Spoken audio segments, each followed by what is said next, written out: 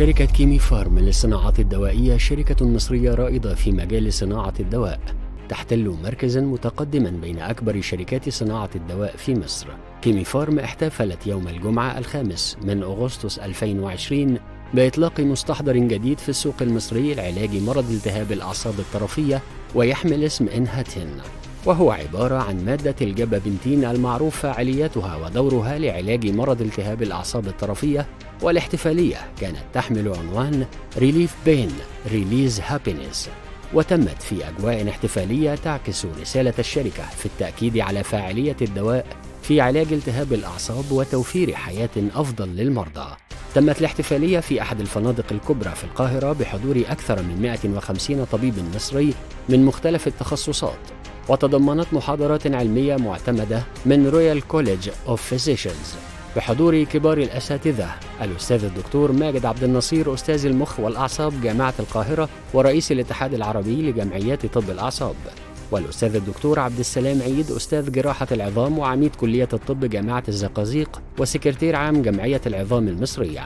والدكتورة نجلاء قباني استشاري الغدد الصماء والسكر جامعة عين شمس وعضو في جمعية الغدد الصماء. النهارده بنتكلم على موضوع مهم جدا اللي هو الألم بسبب التهاب الاعصاب سواء الأعصاب الطرفيه أو الأعصاب المركزية. هنركز على المشكلة الأكثر اللي هي مشكلة الأعصاب الطرفيه بيبقى ليها أكثر أسباب كتير. اشهرهم بالنسبة للناس طبعا هو مرض السكر. يؤدي إلى التهاب في الأعصاب وبينتج عن كده اضطراب في الإحساس يخلي العيان يعاني معاناة شديدة من أعراض حسية حرقان شكشكة دبابيس إحساس كهرباء ذبذبات في الأطراف. تبتدي غالبا بالطرفين السفليين وممكن يعقبها العلويين لكن أكثر بيبقى السفليين ده أشهر سبب اللي هو ديابيت السكر. لكن ممكن أسباب أخرى مثلا اضطراب في وظائف الكلى اضطراب في وظائف الغدة الدرقية نقص في الفيتامينات بعض الجراحات اللي بينتج عنها إن الأعصاب بتتاثر بعد العملية كتير من الناس بعد ما يعمل عملية يحس إن مكان الجرح نفسه بتاع العملية بياكلوا بيحرقوا بيشكشكوا حاجة زي كده.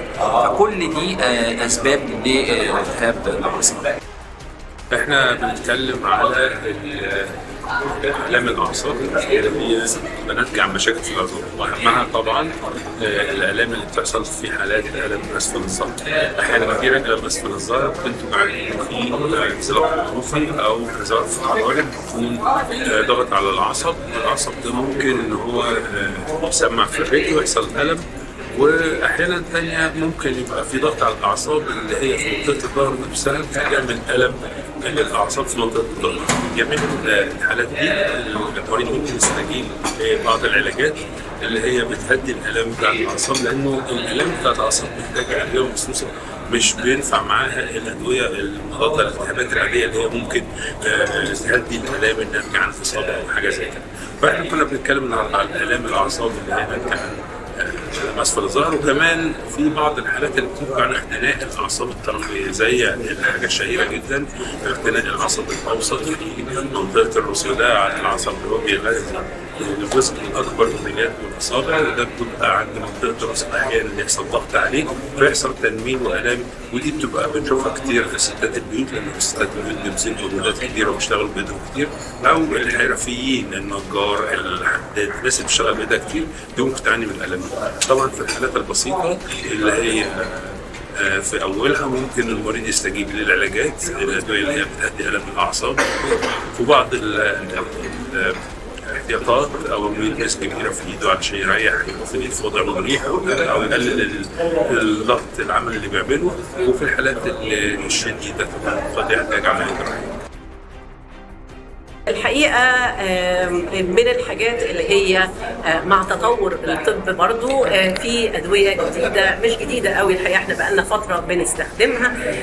الحقيقة فرقت معانا جدا جدا زي البري جابلين الاسم العلمي بتاعها البري جابلين والجابا يمكن البري جابلين أصبح مش موجود ما بقاش موجود ومتوفر لكن الجابا من الأدوية الجميلة جدا اللي بتساعد فعلا المرضى إنهم يتخطوا شيء ممكن يغلس عليهم عيشتهم وممكن يضايقهم وحاجات كتير طبعا يعني في شركات كتيرة بتقدم الحقيقة مش بس الدواء ده لكن في أدوية تانية وفي النهايه أهم حاجة في العلاج هو الوقاية، الوقاية دي إن إحنا نخلي سكرنا متظبط وان إحنا نبعد عن التدخين حاجة مهمة جدا.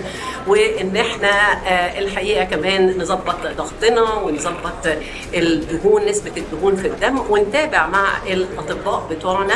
والحقيقة إنه النسبة القليلة جدا اللي بتعاني ألم شديد من التهاب الأعصاب الطرفي بنقدر إن إحنا نديهم بعض الأدوية المتقدمة أكتر كمان وفي النهاية في كمان في بعض العيادات للألم.